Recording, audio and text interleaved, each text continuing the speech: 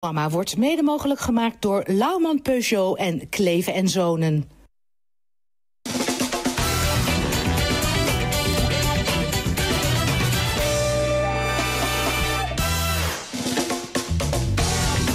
Dames en heren, hartelijk welkom op deze tweede paasdag. Zijn we er gewoon met FC Rijnmond om uh, na te praten over twee Rotterdamse eredivisie-overwinningen. En over het voetbal in de eerste divisie dat vandaag is gespeeld. Te gast is Robaan. Leuk dat je er weer bent. Net ja. 78 lentes jong. Van harte ja. gefeliciteerd nog. Dankjewel. En uh, fit en uh, sterk bij lijf en leden. Zeker. Gelukkig. Dennis van Eersel ook en uh, Ruud van Os is er. We beginnen even met het afscheid dat we gisteren moesten nemen in de Kuip... van wat toch een unieke actie is. De spandoeken moeten namelijk helaas worden verwijderd. Omdat over twee weken de bekerfinale hier is, moeten die spandoeken wijken. Een uh, bijzonder en fraai initiatief van de supporters van Feyenoord... om het lege stadion zo aan te kleden. Er was uh, geen stoeltje meer zichtbaar zo'n beetje. En Feyenoord heeft zich weer eens van een unieke kant laten zien erop. Eigenlijk zonde dat, dat dit weg ja, zeker. Maar ja, wel begrijpelijk. Ja, vind je het begrijpelijk? Jawel, het, is, het is uiteindelijk een neutrale wedstrijd in een neutraal stadion. Dus ja, dan moet het ook... Ik bedoel, de Ajaxiden kunnen daar niet de hele wedstrijd naar kijken. Waarom dan toch niet? Ja, maakt omdat nou toch we toch weten uh, hoe, een Ajaxiet in elkaar zit en een Rotterdammer. Nee, dat uh, is, is niet te doen. Oké, okay. maar Dennis, waarom was er dan geen andere oplossing denkbaar dan weghalen. Nou, die waren er wel. Hè. Dan had je de boel moeten afdekken. Maar dan had Feyenoord daar mankracht voor moeten uh, inhuren uh, en kosten dus maken. Omdat de KVB dat niet wilde doen. En, uh, laten we ook niet vergeten, er is best een mogelijkheid... dat er bij de eerstvolgende wedstrijd daarna de week erop alweer, Feyenoord-Vitesse... misschien zelfs wel wat publiek in uh, de Kuip weer zit. En dan hadden ze ook weggehaald, of in ieder geval ja, gedeeltelijk... maar dat vind ik een goed argument. Weghalen voor publiek vind ik een goed ja. argument. Maar weghalen om naar lege tribunes te kijken vind ik echt eeuwig zonde. En Rob zegt, tuurlijk, ze zullen er in Amsterdam niet blij mee geweest zijn. Ach ja, wij zijn ook wel eens niet blij met Amsterdam. Ik bedoel, ik vind dat ze zich daar maar overheen hadden moeten zetten. hoor. Het gaat tenslotte om die beker en niet wat er op de tribunes ligt. Dus ja, ik had gezegd, uh, dikke pech. Gewoon laten liggen. Ja. Maar goed, uh, die strijd is uh, verloren. En we zullen het ons uiteindelijk herinneren als een uh, toch bijzondere actie... die die supporters hebben gedaan. Ja. Ruud, jij was zaterdag op het kasteel. Op anderhalve meter Polonaise gelopen? Ja, ja, nou ja. Ik zei het na afloop tegen Henk Vrezer. Hè. Weet je, we missen het publiek heel erg. Wij die wel in de stadions mogen zijn. Spelers, trainers en media. Maar dit was nou een wedstrijd. 10.000 man op kasteel. Waren met z'n allen 10.000 dronken naar huis gegaan. Het was geen goede wedstrijd, maar wel een spannende wedstrijd. Een interessant scoreverloop, er gebeurde veel, veel kansen. Ja, en dan in de slotseconde hem zo beslissen, Lennart T. Ja, was geweldig. En natuurlijk, je mist het publiek al, maar op dat moment helemaal. Ja, we praten zo meteen ook in deze uitzending natuurlijk uitgebreid over Sparta. We beginnen over Feyenoord erop. Geen grootse, geen goede overwinning, nee. maar een belangrijke 2-0 tegen Fortuna Sittard. Heeft Feyenoord, mag je stellen dat Feyenoord weinig moeite heeft gekend met het missen van een half elftal? Uh, achteraf zou je dat zo mogen stellen. Ik denk dat Feyenoord toch wel even zoekende was. Uh, met name om de combinatie naar voren toe in de aanval uh, weer te vinden. Waar zag je dat aan? met name als, het inspelen van Bozeniek. het vinden van Bozeniek en hoe hem te gebruiken. En Lins weer terug op de, op de linksbuitenplaats. dat liep gewoon even niet. en het is natuurlijk niet, niet weer voor niks dat de beslissing weer van Berghuis moet komen. Omdat hij de beste is? Hij is de beste, hij is Feyenoord. Uh, helaas, uh, het gaat over één speler die nogal eens uh, nukken vertoont. Maar het is wel alle, echt de allerbeste speler van Feyenoord. Ja. Um, even toch ook over die coronagevallen, Dennis. Want ja. dat waren er ineens veel. Daar waar Feyenoord dat eigenlijk hele lange tijd goed onder controle heeft gehad. Hoe heeft dat zo mis kunnen gaan ineens? Ja, even, even nuanceren wel. Het waren twee gevallen. Kuksu bij de nationale ploeg van Turkije. en Sinisterra dan bij Feyenoord zelf. En dan waren er drie anderen die zijn niet positief getest, maar die moeten verplicht... omdat ze met Sinisterra in contact zijn geweest in uh, uh, quarantaine. Die sluiten dus ook weer wat eerder aan dan die twee andere spelers. Dat de nuance daar. En ja, het is, het is vooral heel erg lang goed gegaan. Ik denk dat dat vooral knap is. Dat is hetgeen wat bij mij, moet ik zeggen, vooral blijft, uh, blijft hangen. Als het sinds eind oktober geen enkel geval is geweest... dan zijn er vooral heel veel dingen goed gegaan. Ja, en, en we weten het allemaal met, met dit virus. Uh, binnen Rijnmond hebben we ook wel eens mensen gehad... En dat je niet kan traceren. Ja, hoe het kan, weet ik niet. Uh, maar toch een positieve test. Dus ja, het kan gebeuren. Ik tilde ook niet zo zwaar aan. Pech. Ja.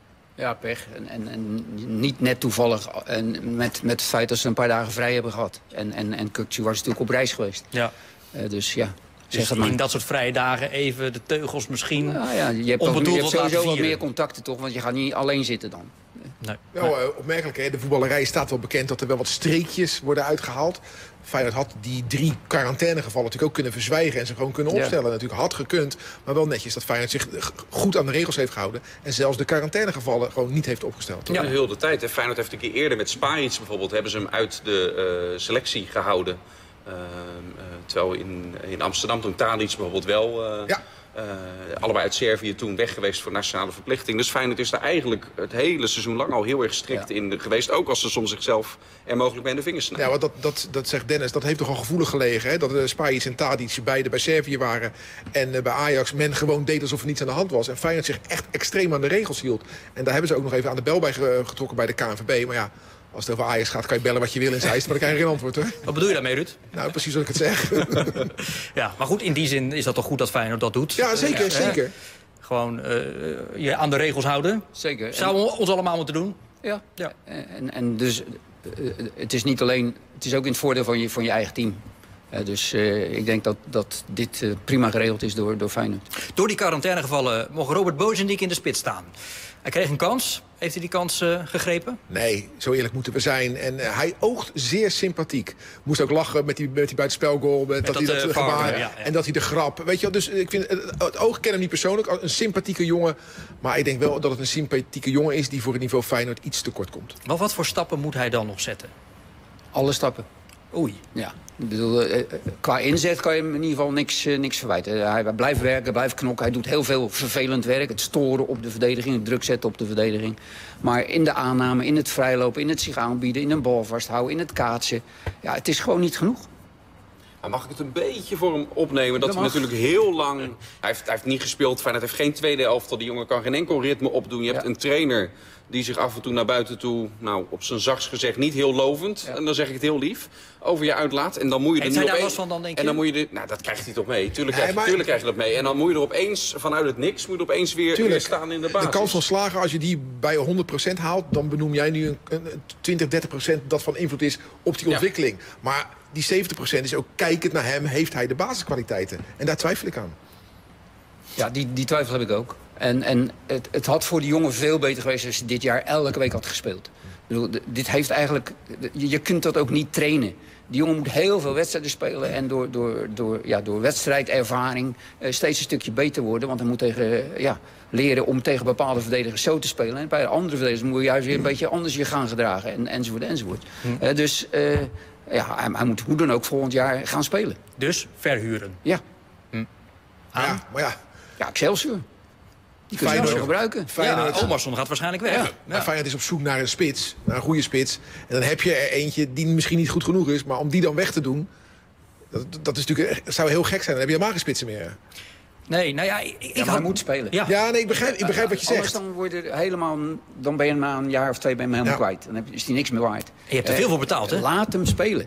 Ja, laat hem ervaring opdoen een jaar lang. En, en, eh, en dan haal je hem terug. En dan, tenminste, dan kan je hem terughalen. Maar is, dan kan je eh, hem doorverkopen. Is Excelsior dan niet, met alle respect, een te laag niveau?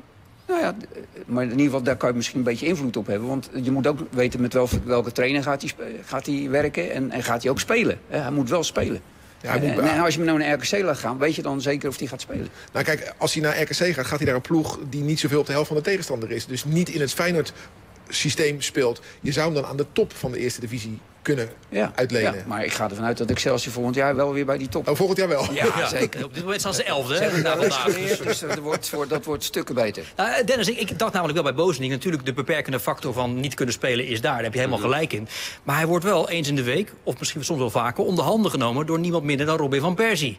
Ik zou willen dat hij mij eens af en toe onder handen neemt op een voetbalveld. Die winst is niet echt zichtbaar dus. Nee, maar Van Persie is natuurlijk ook geen wonderdokter. Dus als Nee, je iets kan uitvoeren, wil nog, niet, wil nog niet automatisch zeggen dat je het ook kan overdragen dat de ander, hij, dat Van Persie hem af en toe onder handen neemt, maakt Van Bozenik niet een Robin van Persie natuurlijk. Nee, maar daar- zo zo daarmee- werkt het niet. Daarmee zeg je toch alles. Ja. Ja. Ja, goed. Nou ja, we- we gaan dat zien. Of hij misschien nog wel meer kansen gaat krijgen in het restant van deze competitie. Feyenoord won dus met 2-0 thuis van Fortuna Sittard. Voor de trainer Dick Advocaat is die overwinning een mijlpaal. 200ste in de Eredivisie. Dus eh, van maar er komen nog een paar bij. Ja, dat, dat, dat hoop ik. Dat hoop ik zeker. Ja, dat gebeurt wel. Ja. Wat vond je ervan vandaag, Dick? Nou, ik vond het, ik, ik vond het een hele interessante wedstrijd. Uh, van tevoren gezegd, jongens, we moeten winnen. Met alle respect voor Fortuna, maar we moeten winnen. Het is een thuiswedstrijd en uh, dat hebben ze goed begrepen. Ik vond... Uh, er zat veel zwoen in het elftal. Het was niet allemaal e-, even goed, maar groot gedeelte van, het, uh, van de wedstrijd beheersten we, controleerden we, kregen we kansen uit. Ja, ik vond, het, ik vond het best wel leuk om naar te kijken. Ja, dit is ook hoe je het wil, toch? Wat, ja. wat Feyenoord liet zien. Het werd uitgevoerd nu precies zoals jij het wil. Ja, dat kan nog wel beter. Maar uh, we scoren twee goals, want dat had ook wel vier of vijf kunnen zijn. Wat kan er nog beter in wat advocaat graag wil? Ja, ik heb het net al even aangehaald. Het is natuurlijk te afhankelijk van Berghuis. Hè. Mm. Bedoel, wat, wat, komt er nou eigenlijk van de linkerkant? Wat komt er vanaf het middenveld? Uh, wat komt er van achteruit? Uh, dus uh, wat, wat sowieso beter moet, is, is de opbouw wat sneller. Hè. Dus als tegen dit soort tegenstanders die dan zo gesloten spelen... Uh, moet je proberen wat meer tempo te maken... en wat meer creativiteit uh, in, in, in, je ploeg te brengen. En dat tempo, daar ontbrak het wel een beetje aan, hè? met dat, name de eerste helft. Ja, dat vond ik zeker. Ja. Ja. Berghuis, jongens. Ik bedoel, Rob heeft het inderdaad al eerder gememoreerd... maar ik wil het er zeker nog uitgebreid over hebben. Want ja, dat het een fenomenale voetballer kan zijn... dat weten we natuurlijk al uh, sinds jaar en dag. Maar jeetje, wat was hij weer goed gisteren, zeg. Ja, die, die, die voorzet, die goal echt fantastisch. En ik begrijp ook precies wat, wat advocaat zegt. Wat ik alleen nog wel gememoreerd wil hebben... dat vlak voor die eerste goal... Fortuna natuurlijk een mega kans krijgt, Fleming. Ja, ja, ja. En hè, ik, ben, ik blijf erbij dat voetbal een groot gedeelte bestaat uit toeval.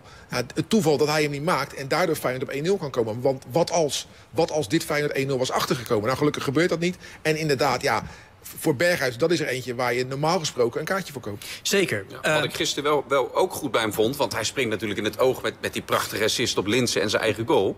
Uh, het, het, doelpunt wat hij zelf maakt, voor de duidelijkheid. Uh, wat hij gisteren ook heel goed deed... waar Fortuna Feyenoord echt wel af en toe lokte met die bal op eigen helft rondspelen. Feyenoord lokken om van die eigen helft toch af te komen... en om op een andere plek druk te gaan zetten. Hij deed dat niet. Hij speelde ook, uh, waar veel gedoe over is geweest... bleef hij op de eigen helft bij de rest van zijn teamgenoten. Alleen Bozeniek af en toe ging, ging toch uh, ervan door... op het moment dat het nog niet hoefde. Uh, maar ook daarin speelde hij ook gewoon vanuit de taak zoals het moet. En we weten het van hem. Hij vindt het niet altijd leuk om op die manier te spelen. Maar, maar hij was blijkbaar kunnen ja, overtuigen nu Hij was 90 minuten lang, ook wat dat betreft... Uh, vanuit de taak, ja. om die lelijke term te gebruiken, ja, ja, aan het ik spelen. Ik zou wel eens iets bij Rob neer willen leggen. Want wat, wat ik advocaat na afloop hoor zeggen... is dat hij zo blij was met Berghuis. Niet alleen omdat hij goed voetbalde, maar ook buiten het veld. Hij heeft het naar zijn zin vandaag. En moet je niet oppassen, Rob, dat je binnen je groep... te veel ja, verdettes benoemt en ze ook zodanig, als zodanig gaat behandelen. Want dat, wordt, dat is nu het geval dat, bij Feyenoord. Daar heb je helemaal gelijk. Maar, maar je kan niet anders als het benoemen... omdat er geen ander is op dit moment. Dus bedoel, de, zwakte van Feyenoord is dat er veel te weinig persoonlijkheden in rondlopen. Bedoel, een Ver zou je van verwachten, zou een dragende speler moeten zijn. Maar Ver ontwikkelt zich niet tot die speler. Uh, en, en, en dus ja, Berghuis is niet voor niks aanvoerder geworden. Want eigenlijk zou Berghuis nooit aanvoerder moeten worden. die, die moet je ze dus niet belasten daarmee. Uh, die wordt nu ook elke keer na een wedstrijd gelijk gevraagd naar zijn mening enzovoort. En hij doet het prima. Maar eigenlijk zie je het liefst een aanvoerder die ergens in de achterhoede speelt. Nou, fair. Een, een, fair, een, persoonlijkheid ja. die, die het allemaal op zich af ziet komen. En die dus over zich kan houden om te vertellen... ja, zo en zo hadden we het eigenlijk vandaag moeten doen. Hè? Mm. En of dat, dat vind ik. Nou, ik, ik heb bij Feyenoord het gevoel dat ze met z'n allen in de Kuip zitten te wachten... totdat Berghuis het parkeerterrein oprijdt. Dat is allemaal hopen ja. als zijn pet maar goed staat. Ja. Weet je wel? Dat gevoel krijg ik een beetje. En dat vind ik, vind ik wel heel kwetsbaar, hoor. Ja, ja dat is ook kwetsbaar ik... gebleken. Dat is ook kwetsbaar ja. gebleken. Hè. Dat, daarom is advocaat natuurlijk gezegd, ik ga een gesprek aan. Hij moest eventjes proberen om toch uh, iedereen uh, binnen de omheining te houden. Hè. En, en, gelukkig is dat gelukt. Toch meen ik te zien, zeker als hij scoort... en als hij zo'n geweldige assist geeft... als je kijkt naar de gezichten van zijn medespelers... Na, bij zo'n juichmoment dat ze echt wel gek met hem zijn. Dat, dat, dat hij echt wel goed ligt in die groep. Daar waar, ja. waar anderen ons wel eens nee, iets anders willen doen geloven. Daar is zeker niks mis mee. Nee, hè? Nee, nee absoluut niet. Maar, maar ja, hij heeft zijn nukken. Uh, de, de, elke verdette, want ja, zo mag hij, je hem hij noemen. Hij wil winnen, Rob. Hij wil alleen maar winnen. Ja, nee, dus dat is een goed, goede eigenschap. Hij ja. wil winnen, maar dat wil niet zeggen dat je dan eh, op andere momenten een klootzak moet zijn. Dat, dat, dat, hoeft niet hand in hand te gaan. Wat ik wel vind is, uh, uh, ik had het net over toeval. Kijk, Feyenoord heeft een drama-resultaat tegen Emmen. Dan is dat toevallig net voor een interlandbreek. Hij leeft helemaal op bij Oranje. Er hoeft ja. bijna geen woord gesproken te worden. En de situatie is toch gewijzigd. Ja, ja. Ik, ik, ik richt me in zaken Berghuis toch ook even tot de uh, oud-technisch directeur van Feyenoord. Want je hoort en je leest altijd, voor 4 miljoen is die op te halen. Ja, dat klopt, dat staat nou eenmaal in zijn contract bij Steven Berghuis. Maar wat nou als hij deze vorm weet te behouden? En wat nou als hij basisspeler wordt op het Europees kampioenschap? En hij gaat het goed doen. Dan gaat die marktwaarde toch veel hoger liggen. Ja, maar als het vast ligt, dan, dan, moet, dan moet je een, Ja, maar- deal, een deal sluiten met, met zijn management. Eh, en met hemzelf, waardoor ze er allemaal beter van worden. Maar dan moet het ook nog niet eh, al eh, overal bekend zijn. Want dan kunnen ze zich beroepen op... geef mij eens even dat... Maar als er de- meer vraag is, als er meer clubs zich gaan melden... Ja, dan kan de prijs toch omhoog? Dat zou normaal wel hebben gekund, maar niet als het vast ligt. Ik bedoel, dan, dan kan dat management natuurlijk gewoon beslissen van... nou, hij gaat voor die 4 miljoen en wij steken de rest in onze zak. Ja, maar Maar- mijn informatie is dat de deal is... er gaat 4 miljoen sowieso naar Feyenoord.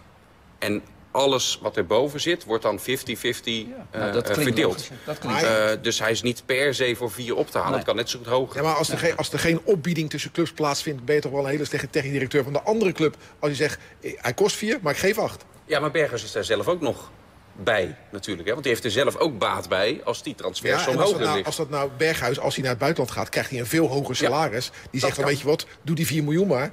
en ik pak een beetje tekengeld bij die club en een hoog salaris. kan. Doe maar. Dat kan ook. Dat kan Maar dan gaat vooral Berghuis en eh, consorten er dus vooral heel veel beter en wijzer van worden... behalve de club. ja. Ja, maar anders, anders was hij een paar jaar geleden was hij al eh, eh, weg geweest hè, bij Feyenoord. Dan had PSV hem gehaald en daardoor is er dus deze, nu nu deze clausule. Dat is luisteren, we zitten over iets te praten wa- waar, waarvan waarschijnlijk een gedeelte van de waarheid naar buiten komt. Maar wij weten niet exact wat er is afgesproken. En ik, ik zou het goed kunnen begrijpen dat Feyenoord een bepaalde afspraak heeft gemaakt. Eh, die, die zorgt dat alle partijen er beter van worden. Dus dat moet iets gaan worden waar straks ook Feyenoord zich in kan vinden. Ja. En, en er dus niet alleen die 4 miljoen, maar waarschijnlijk er echt wel wat meer uit zal halen. Maar de afspraak waar Feyenoord destijds beter van geworden is... is toch het feit dat hij bleef. Dat was toch het aspect waar Feyenoord beter van werd. Hij kreeg Jawel, meer salaris, je- als je- gelimiteerde som en daardoor bleef hij. Denk toch gelijkertijd, wa- want hij wordt natuurlijk niet, niet nog meer waard. Want de leeftijd gaat ook een rol tellen. Dus er is natuurlijk een afspraak gemaakt. Oké, dan kan dat misschien nog één keer. Want misschien wil Berghuis, heeft hij dat toen ook al aangegeven. Ik wil echt, voljaar wil ik per se weg. Ik blijf nog een jaar. En dan gaan we dus met elkaar om de tafel. En die deal hebben ze gemaakt. Ja. Waar zou hij eigenlijk naartoe gaan? Ja, vind ik echt heel lastig. Hè? Ik bedoel, in Engeland kennen ze hem. Ja, maar dat is wel lang geleden, Ruud. Ja, oké, maar ze kennen hem. Hij heeft Ja. bij Watford gezeten, is niet gelukt. Nee. Ja, waar, waar kan zo'n speler terecht? Ik, ik, zou de, ik, ik, zou me niet schamen als ik in de Bundesliga zou spelen, hoor. Ik zou me niet schamen als ik in de Serie A zou spelen, hoor. Ik bedoel, eh, daar zijn ook spelers uit Nederland naartoe gegaan... waarvan ik dacht van, nou, Serie A. En die zijn daar goed terechtgekomen. Zo'n eh Amrabat. Eh, Sofian. Amrabat. Die ja, doet het goed. eh, en Martin de Roon hadden we die gedacht... dat hij tot grote hoogte zou stijgen bij Atalanta. Dus ja, misschien komt hij daar wel terecht. En ik zou jaloers zijn, hoor. Om eh, Serie A. Prachtig land, Italië. Hij heeft zichzelf wel eens uitgesproken over de Spaanse competitie. Ja, hè? Dat, schitterend. dat hem heel erg eh, trekt. Hoe zie jij dat? Nou, ik, ik, ik sluit me aan bij de Italiaanse competitie. Eh, de- die is natuurlijk veel aanvallender gaan denken als vroeger. Dat, dat Catenaccio, dat is er bijna niet meer. De- heel veel trainers zijn daar echt puur eh, ja, in, in, in aanvallend opzicht zich gaan eh, ontwikkelen. En, en, en, en, en hun, hun teams dus daar eh, ook zo laten spelen. Dus eh, ik, ik denk dat hij die vrijheden die hij nu krijgt... die heeft hij ook nodig in een nieuw team. Maar in Italiaanse clubs die hem dus wil hebben... weet dan ook wat ze willen. Eh, en dat hij die kans daar zal krijgen, eh, hij zou er heel goed passen. Hoe verrassend vond je dat Bijlo keepte? Vond ik niet verrassend. Ik bedoel, als het nog moest gebeuren, moest het dit keer gebeuren. Dus na zo'n break in het land, hij, hij is dan wel meegegaan met Jong Oranje, maar heeft helaas niet gekiept. Ook begrijpelijk toch, vind ik achteraf. Eh, maar nu eh, moeten we toch met Feyenoord met z'n allen wel weten... wat hebben we aan Bijlo eh, nog voor de, de rest van het seizoen en voor het volgende seizoen. Ja. Want als hij weer geblesseerd raakt, weer geblesseerd... dan moet je weer zorgen dat je volgend jaar echt een hele goede tweede weer hebt. Dus, eh, en, en die jongen die kansgevend zich te kwalificeren voor de EK... dat, dat, dat helpt natuurlijk ook wel mee. Maar we weten nu zeker, eh Bijlo is de eerste keeper van Feyenoord. Ja, einde, je discussie. Ja? Jij niet? Nee? Nee. Hij is toch de eerste keeper? Alleen was geblesseerd. Maar hij is toch de eerste keeper van Ja, maar hij heeft toch ook wel op de bank gezeten... en Marsman heeft gekiept toen hij wel aan de beterende hand was. Ja, dat was die de laatste, de laatste wedstrijd voor de, eh voor de break tegen, ja. tegen Emmen inderdaad. En toen was het de bedoeling, terwijl eigenlijk was al bekend... ook advocaat wist het toen al dat hij hier bij Jong Oranje niet zou gaan eh, keepen. Want Bijlo heeft eh, gisteren verteld dat hij advocaat op de hoogte had gesteld... van het gesprek met Van der Looy. Hè? Dat als hij die laatste wedstrijden voor de break niet zou keepen... dat hij ook bij Jong Oranje niet zou, eh, zou spelen. Eh, maar toch hoopt de advocaat dat hij bij Jong Oranje wel zou eh, spelen. Vond Ja. goed keeper trouwens hoor. Eh, kreeg niet heel veel te doen. Zat er een paar keer goed op. Is natuurlijk niet bang. Heeft lef. Is gretig. Maar ik vind eh, Utrecht Hij had uit... een cruciale redding. Ja. Met, die- met die Ja, met- ja. in- Van Tekkie, ja. Ja. Ik denk, ik denk dat Utrecht uit zijn echte test gaat worden. Ja. Dat gaan we zien. Het komend weekend. Maar goed, eerst eens terug naar eh, gisteren. Justin Bijlo had dus even niet gekiept. Dus inderdaad ook niet bij eh, Jong Oranje. Maar ja, hij was gisteren gewoon gelijk weer ijzersterk. De week voordat ik naar Jong Oranje ging, voelde ik me weer eh, lekker ouderwets. Gewoon een goed gevoel en eh, ik zat lekker in mijn vel. En dat heb ik eh, sindsdien is dat niet meer veranderd. Nou ja, Bijlo is gewoon een goede keeper. Daar hoeven, daar hoeven we niet over te discussiëren. Wist jij ook al, uh, zelfs al zou je bij Oranje, Jong Oranje niet gaan keepen... dat je hier uh, bij Feyenoord wel weer meteen eerste doelman zou worden? Nee, ik heb met de trainer gesproken en uh, daarin heb ik een goed gesprek gehad samen met de keeperstrainer. Hij heeft wel een aantal dingen gewoon uh, gezegd. En, uh, maar hij zei ook dat ik uh, bij Jong Oranje sowieso zou keepen. Dus, dat klopte niet helemaal. Dat klopte niet helemaal. Dus, maar ik hoorde het gisteren dat ik zou spelen. Dus. Maar hij oogde heel gelukkig. En, dan is het heel leuk om, om hem te zien ook. Dat zijn mooie berichten over Justin Bijlo. Uh, in de vorige wedstrijd tegen Emmet debuteerde Balde. Ja. Gisteren debuteerde weer een ander, El Bouchatoui. Spreek ik goed uit? Goed genoeg. Goed genoeg. Ja. Wat is dat voor een speler? Is, uh, hij zit sowieso al wat langere tijd bij de, bij de selectie. Hij stond één keer al klaar om in te vallen. Toen raakte er een aanvaller geblesseerd. Werd er een andere wissel doorgevoerd. Heeft hij echt lang moeten wachten om uh, nu weer die kans te krijgen. Nou ja, aanvallend ingestelde middenvelder is het. technisch begaafde voetballer vanuit de jeugdwedstrijden die hij ook heeft gespeeld. Vanaf de rechterkant? Ja. Ja, ja. Dus uh, ja, een, een, zeer talentvol uh, jeugdproduct schijnt het te ja, zijn. Uh, en dat moet de Balde ook gaan worden. Dat is toch geen eigen jeugdproduct. Nee. Maar ehm, wat is de eerste indruk van die kennismaking? Ja, die paas op Berghuis was natuurlijk perfect. Ja. met de juiste snelheid en, en, de juiste ruimte meegegeven. Daarvoor had hij een tweetal momenten dat je denkt... nou, de aanname was niet perfect. het, het, het, het terugkaatsen was helemaal niet zo perfect. dus ik weet het nog. Dus hij is, hij is te weinig in beeld geweest om er een goede indruk van te geven. Uh, ik bedoel, die bal die hij zelf op, op de goal schiet... kan je ook nog zeggen, ja, had hij die niet beter moeten voorgeven. Nou, ja, uh, is het antwoord toch daarop? Ja, op Linzen? Dus, ja, ja. dus ja, hij wilde graag. En, en ja. dat is begrijpelijk. Ja, ik, ik, ga nu niet zeggen of het een talent is, ja of nee. Dat, daar moeten we nog wat meer van zien. Ja, maar daar is hij natuurlijk wel voor gehaald. Hè? En er wordt een hoop salarissen voor betaald. Hij is geloof ik nog niet zo voor heel veel transfergeld betaald. Maar je moet hem flink salaris geven. Want die jongen moet ooit uh, ja, de miljoenen in de kuip gaan brengen. Ja, dat, dat lijkt me wel. Dat, dat, dat is natuurlijk, uh, bij iedere club in Nederland geldt dat natuurlijk. Dat spelers die je haalt uiteindelijk en die je opleidt uiteindelijk geld moeten gaan opleveren. En ja, hij, moet het, uh, hij komt van buiten de EU. Dus dan verdien je een bepaald salaris. Zit om de 4 ton geloof ik, als ik het goed zeg op. Uh. Ja. Nou, hij is 18 jaar. Ik, denk, ik weet niet hoe het nu is, maar dat is iets minder volgens mij. Ik denk dat het zo rond de 280 ja, dat, dat is voor ja. fijne begrippen. Ja, dat vind ik veel geld. En jij? Ja. Alhoewel jij. Maar... Wie zei die tegen mij? nee, maar dat is voor fijne begrippen natuurlijk niet zo heel veel. Als je weet dat Berghuis richting een 2 miljoen gaat. Dus, maar 3, 280 is natuurlijk hartstikke veel geld. Uh, ja, ik durf het niet te zeggen. Kijk, het is, uh, Feyenoord was niet de enige die geïnteresseerd in hem was. En dat is vaak een goed teken. Er moet alleen geen argument zijn om hem te halen. Heb je hem nodig? En het feit dat advocaat, waarvan wordt altijd wordt gezegd... Die, die kijkt niet zo naar jonge jongens. Het feit dat hij hem nu al gebruikt zegt toch dat er potentie in zit. Zeker. Vrolijke jongen volgens mij ook wel. Althans hoe die uh, oogt. Hè? Wel. Ja, hè? ja, vrolijk ventje. Uh, Rob, op het gevaar of dat ik het uh, iedere week aan iedere gast vraag... Dus ik dek me bij deze vast in. Voor het geval me dat volgende week wordt verweten. Zie jij Feyenoord de play-offs nog ontlopen? Ontlopen? Ja. Met andere woorden, vierde worden, derde? Nou, ik denk dat het voor Feyenoord moeilijk gaat worden. Ik denk dat, dat Vitesse uiteindelijk wat stabieler presteert. Uh, en boven ze blijft staan. Dennis? Ja, Feyenoord heeft het niet in eigen hand. Hè. Je bent sowieso afhankelijk van hoe de bekerfinale loopt. Als Vitesse die wint, moet je derde worden om de play-offs te ontlopen. Nou, dat zie ik niet meer gebeuren inmiddels. En Vitesse inhalen, dan zal Sparta bijvoorbeeld de helpende hand moeten bieden. Want ik heb het programma van Vitesse ook bekeken. Ja, ze gaan nog naar de Kuip. Ja, ze krijgen Ajax nog, maar Feyenoord krijgt zelf ook nog Ajax. Ik heb er twee op mijn radar staan waarbij Vitesse dan maar moet morsen. En Feyenoord moet de rest blijven winnen. Fortuna uit zou kunnen. Of, Ruud van Os, Sparta-Vitesse. Sparta moet Feyenoord dan maar helpen om de play-offs te ontlopen. Ja, wat ik mooi vind is, ik noemde hem net al Utrecht-Feyenoord. Dat vind ik op allerlei fronten een cruciale. Hè? Want dat, dat, als je die wint, dan geeft dat een enorme boost. Ook voor, voor die slotfase van het seizoen. Hè? Fortuna thuis winnen is leuk, maar Utrecht uit, dat telt pas echt. Je moet en, ook wel, hè? Dus Vitesse-ADO, ja. die gaat Vitesse winnen natuurlijk. Ja. Vrijdag. Dus, en, en, en, dat is een concurrent waar je dan ook punten van pakt. Dus uh, ja, ik vind zondag kwart over twaalf echt cruciaal. Ja, nou gaan we uh, bekijken. En dan gaan we langzaam aan de afronding beginnen van dit huidige seizoen.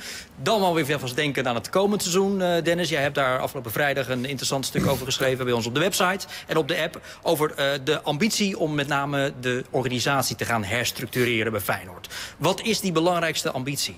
Nou ja, dat is dat er één directie en één raad van commissarissen eindelijk bij Feyenoord komt. Want het gaat hier al, uh, al heel wat jaren natuurlijk over. Je hebt nu zowel de voetbalclub als het stadion Feyenoord met een eigen directie. Die van het stadion weliswaar wat kleiner. En een eigen raad van commissarissen.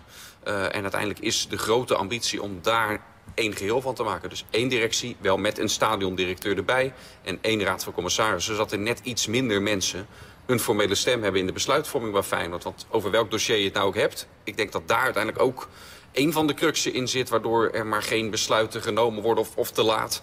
Uh, dat er zoveel mensen iets uh, te zeggen hebben. Ja, herken je dat, Rob? Dat, dat nee, die nee, ik, nee? Ik, ik ken dat zeker niet. Uh, ik bedoel, ik heb natuurlijk zes jaar met Van der Herik gewerkt. En, en uh, ik, ben, ik ben begonnen als bestuurslid technische zaken. Uh, nou ja, een lang verhaal kort. Uiteindelijk ben ik dan toch weer technisch directeur geworden. Niet meer in het bestuur, omdat dat had zijn redenen toen. Maar ik had alleen maar met Van der Herik te maken en Van der Herik besliste. Uh, ik bedoel dat hij af en toe eens eventjes bij de Raad van Commissarissen... Ze moest gaan vertellen waar hij mee bezig was. Maar ja, Van der Erik besliste gewoon. Ja, maar dat is dus nu anders. Dat, hè, dat, dat legt ja. Dennis uit. Ja. Je hebt zoveel organen, zoveel organisaties. Ja. Geen touw aan vast te knopen. Nee. Wat, wat voor voordelen kan het voetbal ervan krijgen... als je dat nou eens goed tegen de, het licht houdt en wat herstructureert? Nou, als zo'n herstructurering maar, maar leidt tot duidelijkheid... korte lijnen en rust... En daar is Feyenoord het meest bij gebaat dat er rust in alle geledingen is. Om, en omdat je dus met z'n allen hetzelfde doel nastreeft. En nu zijn er veel te veel eigen BV'tjes. En, en die gaan dan ook nog tegen elkaar inwerken. Ja, dan, dan, dan heb je een probleem. Maar het heeft er ook mee te maken dat het ontbreekt aan een, een leider als Van der Herik. Hè, die ja, bedoel ik niet heel negatief, maar iets wat dictatoriaal was... en er ook veel geld in stopte. Ja, ja met Koefmans heb je dat niet. Is niet dictatoriaal, stopt er ook geen eigen geld in. Dus dan, dan ja, dat, die, die moet wel links en rechts luisteren naar mensen... daar waarvan de heer ik dacht, ja hallo, ik ben hier de baas. Ja, ja. Maar... ja. Goed, en daar wordt dus aan gewerkt de komende tijd... om van uh, al die verschillende takken van Feyenoord één uh, grote boomstam te maken, zal ik maar zeggen. Sparta, Ruud. Uh, ja, het zit wel eens mee en het zit wel eens tegen in een voetbalseizoen. Het Spart zat Sparta nu zeker niet tegen... door in de laatste seconde de winnende te maken tegen PEC. Op naar de play-offs. Nou, op naar een hogere klassering. Sparta staat nu 11e, hè, uh, maar speelt wel komend weekend uit tegen AZ. Ja, vind ik een hele goede ploeg. Dus laten we er maar vanuit gaan dat dat geen punten oplevert. De week daarna is het, of twee weken daarna, na de bekerfinale, is het VVV wat naar het kasteel gaat. Ja, daar vind ik dus de komende twee wedstrijden gaan minimaal drie punten opleveren. Zo zit ik erin. Ja, en hoe hoger je eindigt, hoe meer geld je verdient. He, laat dat de insteek zijn om zo hoog mogelijk te eindigen. Ah, maar kom op, Ruud. Kom eens met die nee, sportieve ik was, ambitie. Ik was, ik was bij de komma, okay, niet bij de punt. Okay. En als dat uiteindelijk leidt tot een plek in het linkerrijtje... ja, tuurlijk uh, doet uh, Vrezen daar met zijn mannen alles voor. Die gasten die willen op vakantie, maar die willen het liefst op vakantie na play-offs. Want dat lijkt me kijk, voor Feyenoord iets heel negatiefs om die play-offs te spelen. Maar voor Sparta natuurlijk een geweldige verdienste. Dus Lennart T en consorten die willen echt wel gaan voor die play-offs. Hoor. Het is maar drie punten op dit moment. Maar is het reëel? Jazeker. Wel? Ja, natuurlijk. Okay. Ik, bedoel, uh, uh, ik denk dat het aan Fraser is om, om de ploeg nu niet... oké, okay, we zijn veilig en we gaan relaxen. Nee, het is prachtig, deze stiekem uitdaging. Ik ben heel gluiperig. Eh, toch uh, nu uh, die drie punten te zien weg te werken. En, ja. uh, en AZ, dat zal moeilijk worden. Maar VVV, ja, dat moet sowieso lukken. Ja. En als je dan daarna kijkt wat voor programma's nog hebben... ja, maar ik, ik denk het, dat, dat het zou kunnen. Ja, het was hoe dan ook, ook de vijfde keer op rij dat Sparta niet verloor. Ja. Dat is ook niet zo gek vaak voorgekomen in de Sparta-geschiedenis. Hoe verklaar jij de stabiliteit van dit moment, van Sparta? Ja, Henk moest zich ook nu weer verdedigen om zijn speelwijze. Net als Dick Advocaat zich moet verdedigen. Dus ik weet niet of dat aan de Rotterdamse Dat ligt ook een beetje aan deze tafel tafel, Rob. Ja, dat ligt aan deze tafel waarschijnlijk. Maar het is zo logisch als wat. Ik bedoel, je moet spelen naar de mogelijkheden. En, en voor Fraser is dat in ieder geval zorgen dat je, dat je dus goed georganiseerd blijft spelen. En dat was voor Dick Advocaat precies hetzelfde. Uh, en dat heeft Fraser er dus consequent ingebracht. En dat hoeft niet per se negatief te zijn. Ik bedoel, Sparta begon nu ook in deze wedstrijd met een paar geweldige aanvallen. Ja. Uh, flitsend, er zat die combinatie bij met bal aanspelen, achter standbeen langs, gelijk doortikken. Eerst 10 minuten dacht ik dat ik naar Barcelona zat te kijken. Ja, nou, ja, de steekbal van, van, ja. van Smeets op Burger, waar Burger uit op de paal schoot. Ja, ja ook zo'n bal. Ja. Dus. En wat ik mooi vond van Fraser, want daar wordt van vaak gezegd... wat jij zegt op behoudende trainer, hij wisselde wel om te winnen. Want op een gegeven moment speelde Sparta en met T en met uh, Garkoes en met Engels. Ja, zeker. Dus je, dus je moet zo oppassen dat je mensen geen, geen, geen uh, biljetje opplakt... Want als jullie er met z'n allen aan gaan meedoen... dan moet hij zich daar constant tegen gaan verdedigen. Terwijl het helemaal niet zo is. Hij is, hij is een trainer die precies doet wat je moet doen om succes te hebben. Ik ben alleen benieuwd wat hij gaat doen nu hij uh, uh, sorry, uh, Awassar centraal heeft gesteld. En, uh, hij waarom deed hij dat eigenlijk? Voetballend, om voetballend van achteruit ja. meer te hebben. Beugelsdijk en Awassar als centraal duo. Vriends was geblesseerd. Als die fit is, denk ik dat hij wel weer terug gaat komen. Maar gaat hij Awassar daar centraal laten staan? Want Wat denk met, je? met Laros Duarte daarvoor staat het ook prima. Ja, ik vond het een prima oplossing. Ik vond het wel grappig dat Awassar na afloop zei dat hij helemaal niet moe was. Dat hij ja. eigenlijk op het middenveld uh, ja. wat meer in de wedstrijd kan stoppen. Ja, normaal gesproken is hij dat veel, moe, veel moeier dan. Hè? Inderdaad, over die wijzigingen hebben we Fraser nog even gevraagd... wat daar nou de gedachte van was. We hebben zelf een keuze gemaakt vooraf met, uh, met Adil centraal. Om van achteruit ook iemand te hebben die durft in te spelen, de middenvelders. Nou, we hebben een keuze gemaakt in de middenvelders met heel veel voetballend vermogen. Uh, dus ja, daar zat het hem in. Je wil, je wil gewoon heel graag uh, uh, hier en daar de terechte kritiek wil je, wil je weer leggen. En omdat er met die kritiek niks mis mee is. Want in feite word je daar, wat ik nu ook probeer aan te geven... dat geeft je ook een bepaalde drive. Althans mij. En die wil ik heel graag overbrengen op mijn spelers, ja. Ja, eigenlijk precies wat jij nu net zei. Ja. Verklaart hier ja. Henk Vrezer. We genieten vaak bij Sparta van uh, Abdou Haroui. Hoewel, als Sparta niet die wedstrijd had gewonnen... dan hadden wij hier heel lang nu gehad over de, zijn best wel grote fout die hij maakt. Hè, waar een tegengoal uitkwam. Ja. Maar uh, wat, ja, even persoonlijk, wat heb ik weer genoten van die Mijnans. Wat is ja, dat toch? Ja, is dat? Ja, dat is een zaalvoetballer. Geweldig. Ja, Hoe hij op de, op de vierkante meter zich vrij weet te spelen, vind ik echt knap. Ik vind hem ook wat laconiek af en toe. Hè. Dus uh, dat is ook de reden dat hij geen vaste basisspeler is bij Vrezen. Uh, hele hoge pieken, maar soms ook wel een, een dalletje hoor. Ja, maar goed, dat hoort dan toch ook wel weer, pleeg je dan te ja, zeggen bij een jonge voetballer? waar deze jongen vandaan komt. Ja, bij de amateurs. En, en, en, daarom, dus, dus die, is, die is nu stappen aan het maken. En, en zoals Vrezen hem nu gebruikt, ook deze jongen staat weer precies in de goede rol. Een beetje aan de rechterkant, maar wel voornamelijk met zijn linkerbeen sterk... in, in, in, het, uh, in het aanspelen, combinatie maken, naar binnen komen... en ineens een bal geven. Ja, dat uh, is een jongen met heel veel mogelijkheden nog. Mag ik één speler benoemen die er niet vaak in heeft gestaan... omdat hij niet fit was, maar nu die speelt, zo belangrijk is... omdat iedereen beter gaat voetballen, dat is Brian Speets omdat dat een man is die het balletje soms maar één keer hoeft te raken. En, en dan gaat het ook wel een beetje op zaalvoetbal lijken. En soms als dat niet lukt, irriteert dat. Maar met Lagos Duarte, met Brian Smeet, met, met Mijnans... en dan die aanspelen, ja...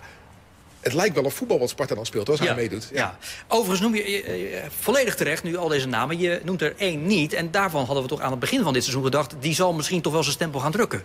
Maar dat gebeurt niet echt. Wouter Burger, wat is zijn perspectief op dit moment, ook na dit seizoen? Ja, ook wat pech gehad natuurlijk. Uh, een keertje volgens mij met, met corona. Dat hij, ja. uh, gekomen, met corona gekomen? Gekomen met, ja. met corona. Dus eigenlijk al dus met een achterstand daar binnen gekomen. Uh, en op een gegeven moment kwam hij in het team. En toen kwam Sparta net in een mindere fase terecht. Werd er toch weer doorgewisseld. En daarna ging het weer beter. Dus dat heeft hem ook een aantal keren niet, niet nee, meegezeten. Nee, maar goed, je, je, gaat naar Sparta om, om net, wat jij net zei ja. over Bozenik. Om veel te spelen, om je meters te maken, om je te ontwikkelen. Zie jij dat bij Wouter Burger nu? Nou ja, de, hopelijk gaat hij nu spelen. Hè. De, ja. Als hij nu blijft staan. Ja, in de rust weer gewisseld, hè? Ja, ja nee, daarom. Dus, dus, dat is al een, eigenlijk een teken aan de wand. Maar wat zullen ze bij Feyenoord dan gaan doen, denk je? Komende zomer? Nou, dat wordt natuurlijk ook denk ik gewoon een lastig verhaal. Hij gaat terugkomen. Kijk, je moet ook maar kijken hoe, hoe, ruim Feyenoord zit. Wat Feyenoord kan doen om het team uh, te versterken. Dus aanvankelijk zal hij erbij aanhaken. Dat is met Jordi Weerman ook afgesproken die, die terugkomt. Uh, dus dan zal iedereen voor zijn plekje gaan vechten. Maar ja, het is hem uiteindelijk uh, bij Excelsior natuurlijk. Dat seizoen werd voortijdig afgekapt. Um, was, maar dat was allemaal nog niet heel indrukwekkend. Nu bij Sparta is het ook niet, niet geworden. Ja, dat, dat draag je dan wel mee als je terugkomt bij, uh, bij Feyenoord. Vind ik, wel bijzonder, vind ik wel bijzonder dat je zeg maar de nummer 11,5 van Feyenoord bent. He, op een gegeven moment was er zelfs sprake van... zou die centraal achterin een ja. basisplaats gaan krijgen? Ja. En dat je dan niet goed genoeg bent voor de nummer 11 van de eredivisie. Dat vind ik wel, wel bijzonder. Ja. Ja, nou goed, we gaan dat zien, hoe dat met Burger verder uh, afloopt. Die trouwens vorig jaar bij uh, Excelsior best wel aardig deed. Ook als huurling toen. Nou goed, nu bij Sparta minder. Excelsior trouwens, Ruud, vandaag gespeeld. Tegen de aanstaand kampioen in de eerste divisie bij Cambuur. Een half uur voor tijd staat Excelsior met 2-1 voor. We gingen er even goed voor zitten. Er was een stunt in de maak. Ze verliezen met 7-2. Ja. Ja, weet je, afgezien van deze wedstrijd heb ik bij Excelsior het gevoel dat iedereen naar het eind van het seizoen snakt. Sowieso. Ik heb het gevoel dat ze elkaar een beetje in de weg zitten. Zowel spelers als naar de trainer toe en de trainer naar de spelers toe. Als ik Luigi Bruins hier hoor, als ik een interview met Marinus Dijkhuis hoor... als ik afgelopen zaterdag een interview met Ferry de Haan lees en hoor... ja, daar, daar, daar komt niet, druipt niet de liefde voor elkaar vanaf. Ik heb het idee ja, dat ze zich niet zo goed raad weten met elkaar. Nee. Maar wat moet er dan gebeuren? Moet je dan ja, dit, dit seizoen maar uitzingen? Het is net als hij zegt, ze verlangen naar het einde. Ja. Uh, en hoe kan je dan toch nog het met elkaar zo goed mogelijk volhouden? Ja, dan helpt het niet als, als Marines uh, eigenlijk duidelijk maakt... dat zijn spelers niet goed genoeg zijn. Nee. Uh, dus dat, dan, dan maak je het voor jezelf ook heel erg moeilijk. Dus ja, de, de, het was al geweldig dat ze dus op voorsprong kwamen. Dus dan, dan begin je toch in wezen goed aan zo'n zo'n zo'n wedstrijd. Het was een uur lang echt goed. Ik heb ja, die ja, boven in de studio dus, dus dan denk je, nou... Dat, en, en dus dan hadden ze nodig gehad. Stel dat je daar dan een punt weghaalt. Dan krijg je nog weer zoiets van... oké okay, jongens, nou, we kunnen er toch nog wat uh, van maken. Uh, met z'n allen uh, volhouden nu. mooi resultaat. Maar ja, dit, dit is dodelijk. hoe, hoe pak je het nu weer bij elkaar? Ja. Hoe pak je het nu weer bij elkaar? Wat, wat, wat voor gesprekken gaan er nu plaatsvinden? Gaat, gaan er aan stoelpoten worden gezaagd nog? Ook met het oog op het komend seizoen? Kijk, hij heeft zal zo vaak niet lopen? Nou, hij heeft heel veel spelers natuurlijk al... Uh, die zijn al min of meer uit het elftal uh, verdwenen. Hè? De spelers die na dit seizoen weg zijn, die zien we al niet zoveel meer. Bruins begon al vandaag uh, ook op de bank. Fischer zien we al lange tijd niet meer. Verhaar komt niet zoveel in actie. Damen wel ook vanwege de blessure, maar die gaat weg. Dus ja, volgens mij is Dijkhuis echt al een beetje bezig met, met volgend seizoen. En ook spelers testen waar je misschien nog wel mee doorgaat. Of je er wel mee door wil. Maar ja, een heel groot probleem, denk ik, in Kralingen is... je kan wel willen doorselecteren en wel zien dat je van sommige spelers afscheid moet nemen. Maar, maar uh, voor mij is het... er is niet zoveel financiële ruimte, ben ik ook bang, om dan beter te halen. En dan krijg je een beetje zo'n cirkel omlaag. Ja, ja sorry. Voor, voor mij is het meest bijzondere verhaal Omerson. dat is onbegrijpelijk. De, de, man begint dit seizoen ongelooflijk. Elke bal was bijna een goal. 18 keer. En ja, dan weet ik niet wat er zich dan nu heeft voorgedaan. Hij vandaag gescoord, gelukkig weer Waardoor zo'n jongen op een gegeven moment niet meer in de basis staat. En uh, niet meer meedoet. En, uh, en de, dus ja, hoe kan dat nou? Ja, hij had zich uitgesproken dat hij graag weg wil. Dat, ja, nou ja maar, maar, dan is het toch prima. Als hij maar blijft scoren, dan is het voor iedere partij perfect. Ja. Nou, nou gaan ze wel zijn contract verlengen, heb ik begrepen. Ja, om hem uiteindelijk wel een beetje leuk te kunnen maar, verkopen. Ja, maar dan, dan speelt hij niet. Nee. Ja? Dan, dan krijg je er ook geen geld voor. Wat, wat Dennis zegt, hè, jij, jij noemt een aantal jongens waar afscheid van genomen gaat worden. Dat speelt al niet meer. Maar de vraag is, wat moet je er dan nog mee? Want het zijn wel hele krachtige figuren in de kleedkamer natuurlijk. Hè? De, de, namen die jij net allemaal noemt. En ik zeg niet dat ze de boel lopen te vernachelen. Helemaal niet zelfs. Maar ze drukken wel een stempel. Zo, eerlijk moet je gewoon zijn. En dan vraag je je bijna af, moet je die gasten dan niet gewoon zeggen... jongens, hier heb je je salaris mee. Ga genieten van je, van je vrije tijd. En we gaan door met de jongens waar we volgend jaar mee doorgaan. Ik, ik denk dat dat misschien een oplossing is. Nou, goed. FC Dordrecht heeft trouwens ook uh, gespeeld uh, vandaag. Uh, daar gingen we toch even goed voor zitten. Jij hebt die wedstrijd waarschijnlijk ook in de gaten gehouden vandaag, Dennis. Want Dort wint vrijdag met 3-0 op bezoek bij de Graafschap. Hoe is dat dan mogelijk, vraag je je af. Ja. En dan vandaag gaan ze er met 5-1 af thuis tegen FC Eindhoven. Dat maar één plaatsje boven is. Ja, helemaal als je vandaag kijkt, dan vraag je je af... hoe, hebben, hoe hebben deze gasten van de Graafschap op de Vijverberg kunnen, kunnen winnen? Ja, dit is precies natuurlijk het, het probleem wat je bij, uh, bij Dordrecht hebt. Er zit geen enkele stabiliteit. Zit er, Omdat zit het ook er een jonge ploeg is, Een jonge ploeg, inderdaad. Ja. Uh, en ja, dit is wat het is. Uh, dit seizoen bij Dordrecht. Er was eventjes een sprankje op, vooral van buitenaf moet ik zeggen. hoor. Van mensen die keken naar die stand van de periode. Van oh, misschien gaan ze leuk meedoen. Maar uh, nee, dat zit in ja, ik, had, ik had vrijdag wel het gevoel, A, dat Dort een goede dag had. En dat kan ook bij Dort wel eens een keer gebeuren. Maar dat bij de, de Graafschap was er wel heel veel afleiding. Hè? Er was, die wedstrijd ja. stond in een teken van ja. dat verdwenen kindje. Ja. Verschrikkelijk natuurlijk. En dat, dat, dat was mooi, dat initiatief. Maar dat leek wel de boventoon te voeren boven het voetbal. En wat ik zeg, als Dort dan een goede dag heeft... kan het zomaar eens gebeuren. Daar, daar zat het volgens mij een beetje in. Maar, precies. Dort trouwens door die nederlaag nu weer negentiende. Heb ik hier staan op mijn lijstje. Dus dat ja, Den, Bos, verloor ook. Uh... Ja, Jong AZ is er volgens mij overheen gegaan. We sluiten af. Het was een uh, waar genoegen, Robaan. Dank. Ja. Graag tot de volgende keer. Dennis, Ruud, tot zover deze FC Rijnmond op deze tweede paasdag. Komende vrijdag dan zijn we er natuurlijk gewoon weer. Fijne dag nog en graag tot dan. Dag.